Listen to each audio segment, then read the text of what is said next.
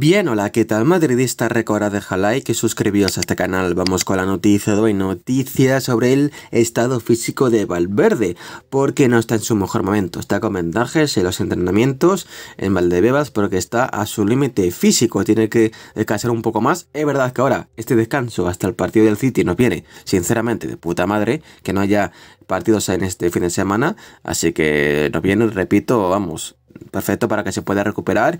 Mm, bueno, parece ser que va a llegar perfectamente para ese partido contra el City el 9 de abril, pero repito, físicamente tiene que tener cuidado porque está un poquito al límite.